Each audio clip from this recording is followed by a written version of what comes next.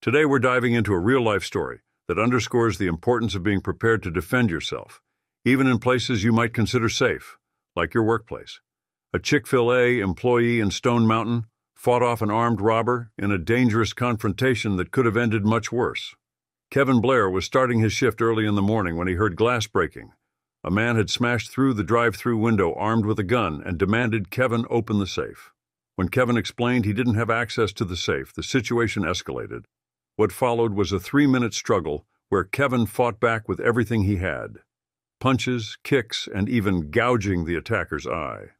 The fight ended with the robber fleeing the scene and Kevin, though injured, managed to survive the ordeal. Uh, I come in and I put up the trucks to get everything out of everybody's way. By the time I got back there to the pallet, a guy came up behind me and had the gun right basically to the back of my head.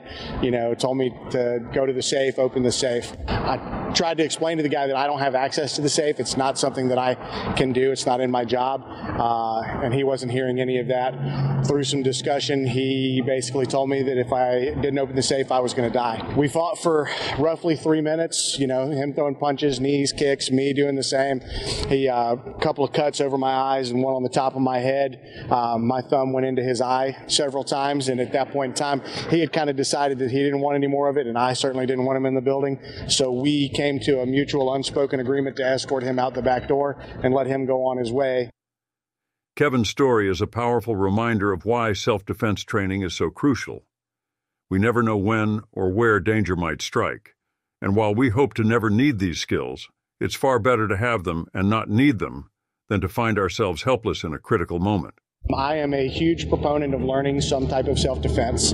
You know, hopefully you never have to be in a situation where you use it, but it's much better to have a tool to reach for when you need it than to not have it. I have a 13 year old and an 11 year old, and I'm glad to still be here for them. Kevin's quick thinking and training allowed him to go home to his family that day, and that's what matters most.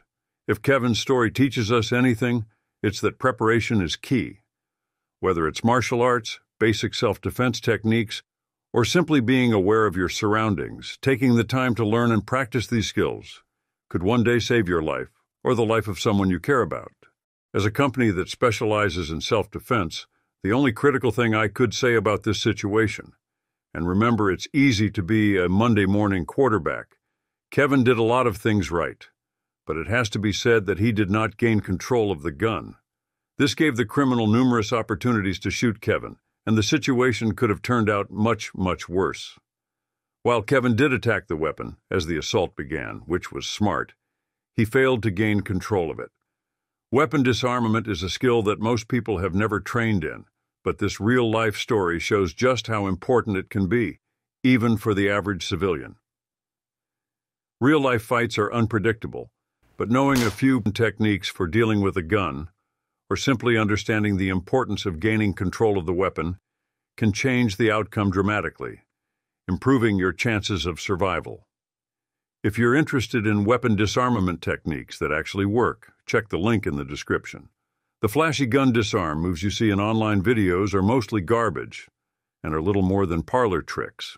The techniques that actually work don't look flashy or slick, but they work and they've been proven in full speed training with simulation ammunition and proven in actual life and death encounters.